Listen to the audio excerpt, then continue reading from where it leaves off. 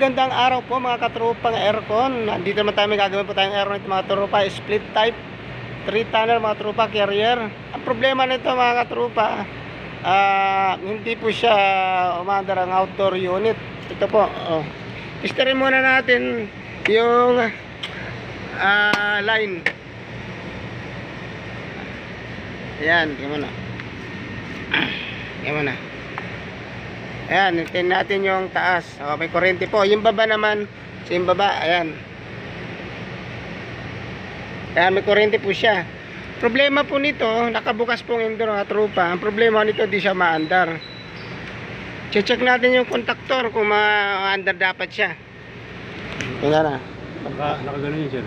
Ah, una, naka-ano na. Ngayon yung kontaktor mga trupa, nakadiin na siya. Ibig sabihin, naka-on sa loob yung indoor. Ayan, ha, din sa may pasok ng kuryente. Ang kadalasang sira nito mga trupa, magnetic contactor. Marumihan, hindi siya, siya bumabalik. Maka, naipita siya ng mga, ano tawag nito, minsan binabahayan po siya ng, ah, ano ng langgam. Titingnan natin mga trupa, buksan natin. Ayan, naka-on yan mga trupa. Yan, nakalubog siya. Nakalubog to, ah, magnetic contactor. Ayun, no, muugong siya. Yan, nakalubog yan. Pag off yan mga trupa, na mo off natin yung breaker. Off natin ha. Ito, gagalaw yan. Iwan po natin ulit. Ayan. Ayan, hindi siya gumagana. Ngayon, tutulak natin itong traktor. Ayan, ay para madra kun, kun ah, compressor. Ayan. Ngayon, buksan natin yung traktor mga trupa. Off muna natin. Kung gagawin mga baguhan, siguro din yung nakop yung circuit breaker. Mga katrupa, patatagal natin sa kasama natin yung magnetic contactor. Lilinisin natin, marumi mga trupa. Nagkaroon niya ng ah, dumi. Kaya yung contact na ipitan siya, kaya wala sa pumapasok ng kuryente. Ito.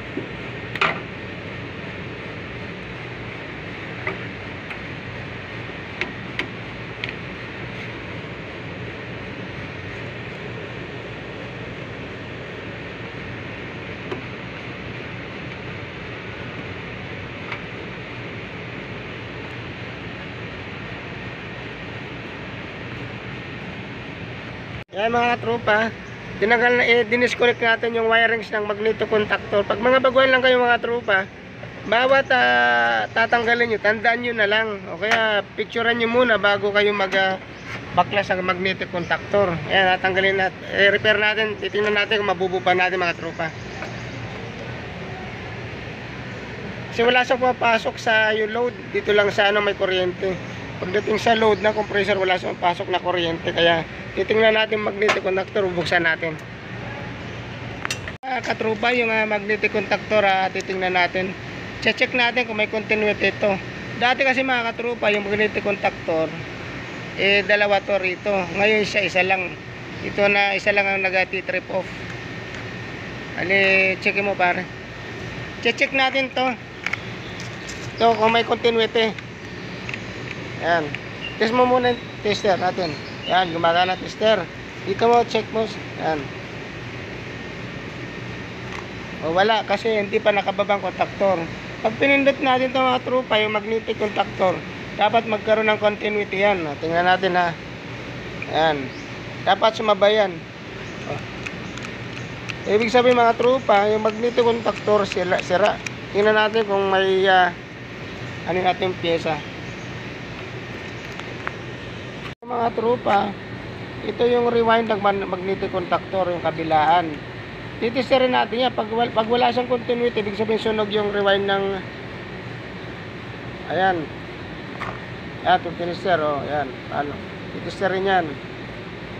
Kaya mga tropa, wala siyang continuity. Ibig sabihin, sunog yung, yung rewind ng magnetic contactor. Ngayon, replace po tayo ng segunda mano, kaya brand new. Hanap po kami sa aming shop. Thank you. Balik po mamaya.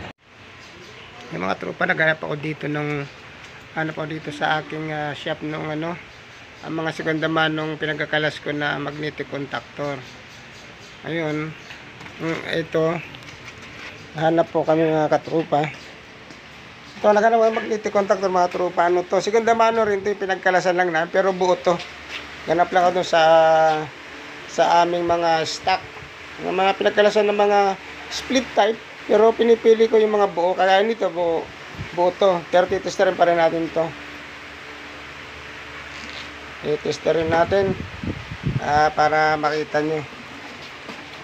Kakabit mo pre. Sana yung inalis natin. Testerin na yan. Testerin natin to, mga tropa. Ay, sana yung tinanggal natin.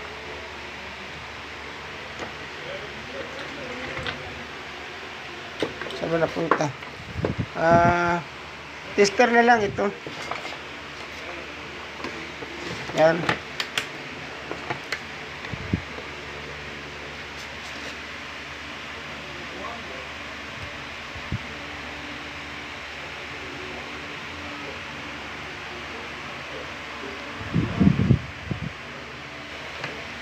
Hindi mo ang tester marumi. Hindi makuha ng tester mga tropa kasi medyo marumi. I-direct natin sa 220 mga tropa. Kailangan gumalaw tong magnetic contactor. Ibig sabihin pag gumalaw siya, buo siya. Ayan, eh, sasaksak natin sa sasaksak natin dyan sa 220. Ayan mga tropa. O, ibig sabihin buo yan. Ayan o. Sige, tanggal on mo. Ah, tanggal. Yan, ibig sabihin mga tropa, buo to. Ngayon, ay kakabit ko sa pinagpalitan. Ito yung uh, sirang magnetic contactor, medyo bago pa. Ito yung luma, pero pinagpalitan lang yan. Okay. Kapitan mo na mga tropa. Yan mga tropa. Kapitan natin yung ah, itong uh, magnetic contactor, yung mga baguang technician. Dapat at mga baguang technician lang to ha. Tanda nyo dapat yung wirings. Ito kapit natin to, ito sa pan, running ng pan capacitor. Yan. Tapos yung isa, line 2 ng capacitor, eh, mga tropa yan. Ngayon, itong uh, itong uh, running, itong starting, hindi natin dito. Sa compressor to. Dito bago mga katropa yung magnetic contactor. Pero buo to, dahil na sa mga sa mga kinalas ko lang nakatago lang to pero buo.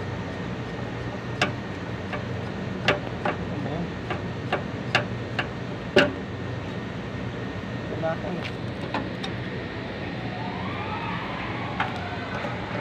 Dapat tatandaan nyo na lang mga technician pag kinalas nyo, tandaan nyo na lang pero mas maganda kabisado nyo. Kasi pag kabisado nyo, kahit anong gawin yan, kaya nyo ibalik.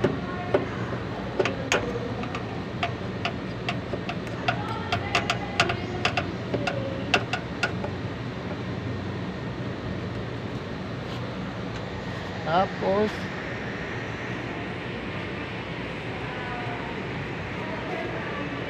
mga katropa, itong ah, indoor indoor unit ng mga tropa. Is doon sa indoor yung busapan sa ilalim mo dapat yan. Dito.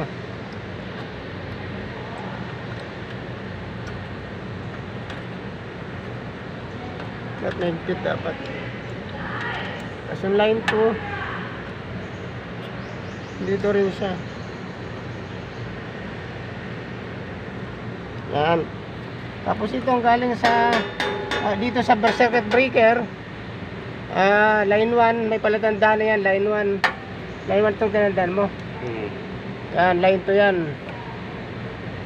Kasi pagka malbalik ng kabit mga trupa yung L saka N nagkapalit. Hindi po under tong outdoor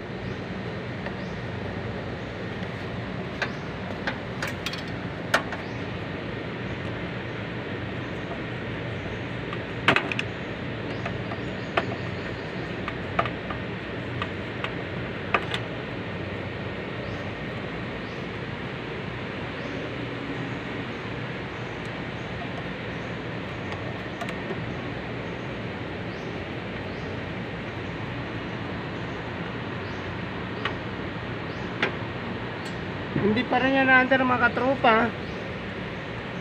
Kasi meron siyang uh, sa rewind. Nasaan ba yun? Sa isang wire. Hindi yan. Yung isang running dito, nawawala. Ano ba yun?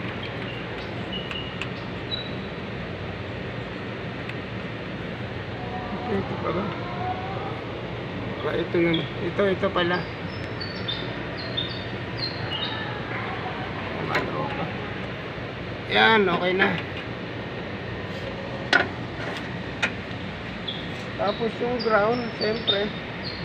Kasaman mo na may lagay itong ground na to.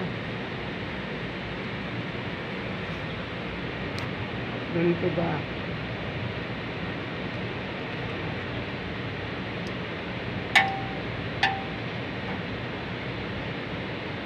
Ano to?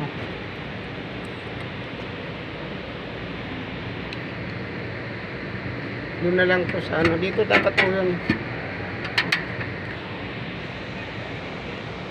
So mga katrupa, nakabitan natin yung uh, magnetic contactor. Ah, wag muna. Wag muna. Paandarin muna natin, pindutin muna natin dito sa sa, sa outdoor. O, ito mga katrupa. Kasi nakapatay doon sa indoor. Ngayon, ganito pag testing niya mga tropa. Naka na yung breaker. Ganito pag testing niya kasi kung nasa loob malayo. Malayo ang ah, ah, indoor mga tropa. Naka-off. Ngayon, para malaman mo sigurado tamang kabit natin, pindutin mo na lang to. Yan ang gitna.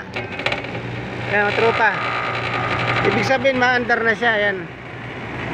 Maandar na compressor. Yan. Okay na po yan. Ganun lang pag-testing niya pag wala kang kasama mga tropa nasa loob yung indoor. Kaya lang, binitaw mga tropa, mag-off yan. Ayan, oh. Ayan, bubuksan na sa loob ng kasama mga tropa. Titignan natin kasi mga 1 minute yan bago umandar pag inon sa loob.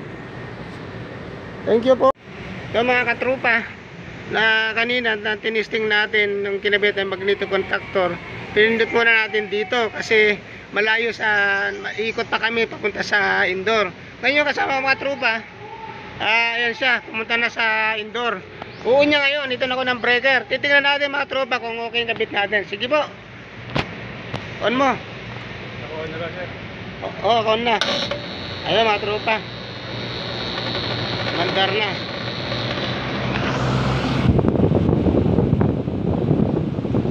Oh, ayan, nakakandar na. Yan na.